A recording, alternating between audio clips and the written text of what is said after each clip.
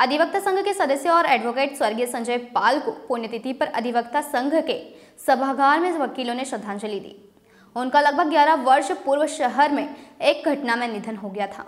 उनकी स्मृति में अधिवक्ताओं ने संघ के सभागार में उनके चित्र पर माल्यार्पण कर, पुष्पांजलि अर्पित कर अधिवक्ता संघ के पूर्व अध्यक्ष मोहन गंगराड़े ने कहा कि शहीद संजय पाल को शासन की ओर से शहीद का दर्जा दिया जाना चाहिए। उन्होंने कहा कि संजय पाल जैसा निर्भीक और बहादुर हर अधिवक्ता को बनने की आवश्यकता है। इस मौके पर अधिवक्ता संजय के सचिन, रविंद्र पाथरीकर शासकीय अधिवक्ता सुनील चंदेल, देवेंद्र सिंह यादव सहित बड़ी संख्या में अधिवक्ता मौजूद थे। खंडवा से ब्यूरो प्रीतम लखवाल की रिपोर्ट। दिवस पर उनका स्मरण करते हुए उन्हें याद कर रहे हैं और ईश्वर से प्रार्थना करते हैं कि उनके परिवार को भी संबल प्रदान करें।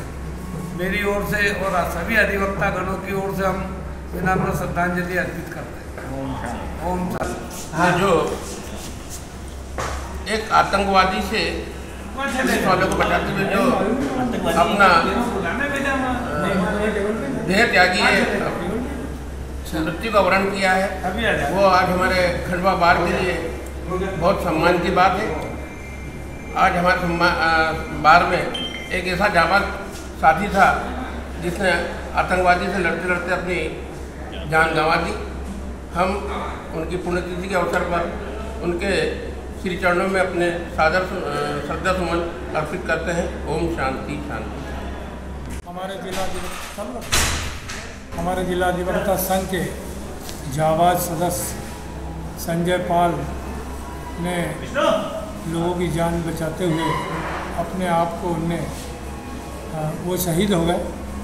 ऐसा जिला अधिवक्ता संघ के लिए बहुत बड़ी बात है।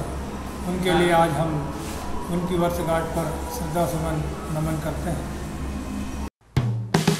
हेलो फ्रेंड्स आप देख रहे हैं हमारा channel S W twenty four news हमारे सारे वीडियो सबसे पहले देखने के लिए आप हमारे चैनल को सब्सक्राइब करें और पास में लगे बेल आइकन को दबाना बिल्कुल भी ना भूलें।